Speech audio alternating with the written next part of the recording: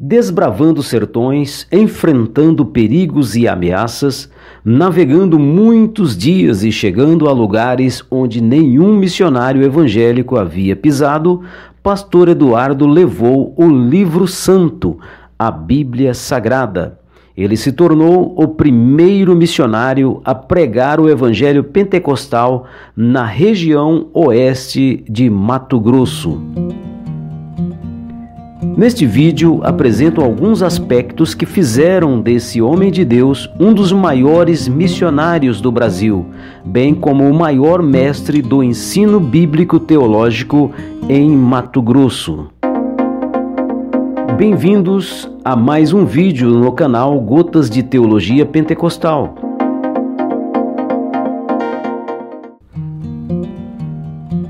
Então vamos lá.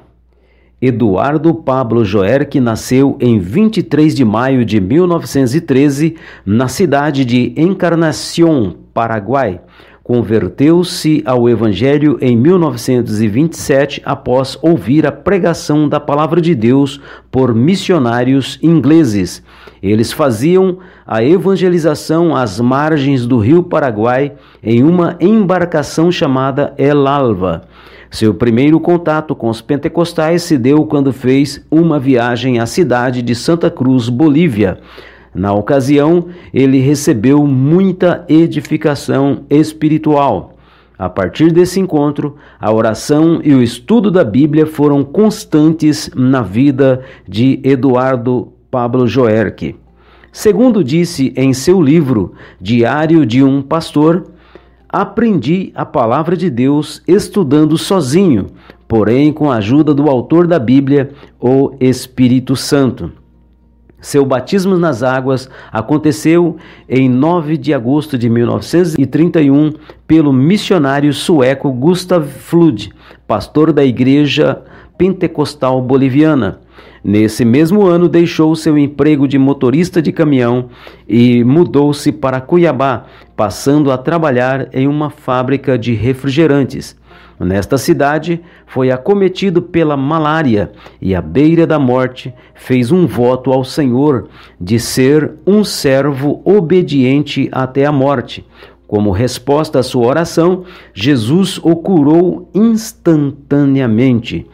Em 1933, morando em Corumbá, entrou em contato com o missionário John Roderick Davis, que o convidou para trabalhar juntos na obra missionária. John Roderick Davis escolheu o Brasil para exercer seu trabalho para o reino de Deus. Ele e sua família foram enviados pela Peniel Chapel London para evangelizar as áreas remotas do Brasil que ainda não havia sido implantada uma igreja evangélica.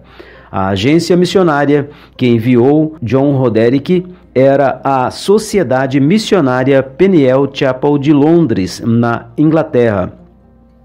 Esta agência pertencia à igreja Peniel Chapel, que se localizava no bairro Kensington, em Londres.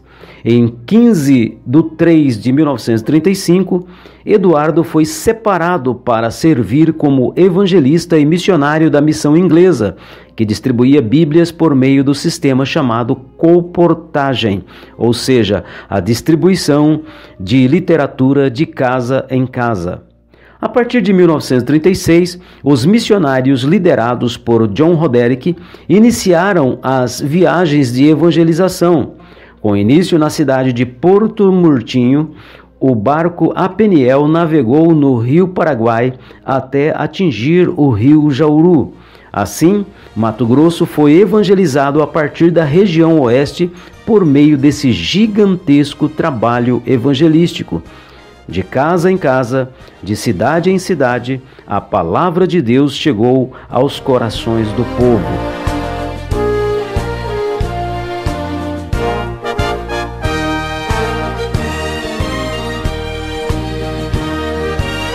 Em um determinado dia de trabalho evangelístico em Cáceres, o missionário Eduardo pregou a palavra de Deus a um carpinteiro que fazia manutenções e reparos nos barcos ancorados no porto. Seu nome era Joaquim Claro da Silva, que mais tarde será a pessoa usada por Deus para dirigir os primeiros cultos pentecostais na região oeste do estado. Em 1950, Joaquim Claro e sua família deram início à Igreja Assembleia de Deus, localizada na Rua General Osório, número 13, num humilde salão que fora alugado para esta finalidade. Dois anos depois, foi fundada a igreja com a presença do pastor Oscar Castelo, que realizou o primeiro batismo pentecostal. Dez pessoas foram batizadas nas águas do rio Paraguai.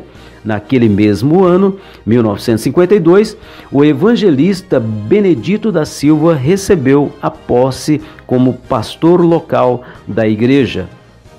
Devido ao grande crescimento que a igreja alcançou com o trabalho do pastor Benedito, por volta de 1960, o Ministério do Belém, São Paulo, entregou o campo de Cáceres aos cuidados do pastor Benedito.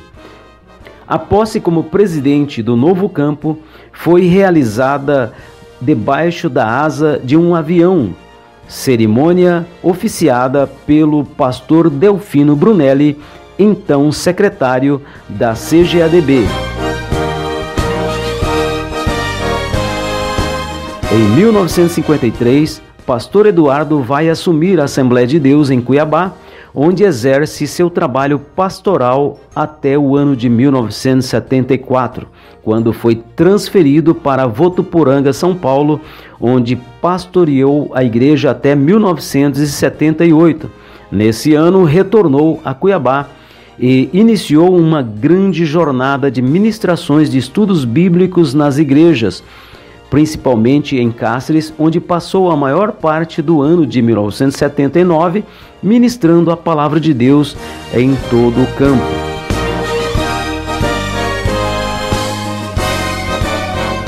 Ele foi um dispensacionalista de mão cheia.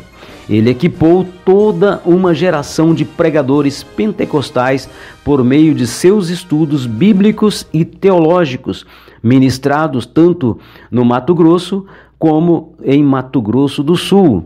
Dedicou os últimos anos de sua vida ao ministério do ensino, principalmente ao ensino teológico, através da FAETEPMAT, Faculdade de Ensino Teológico das Assembleias de Deus no estado de Mato Grosso.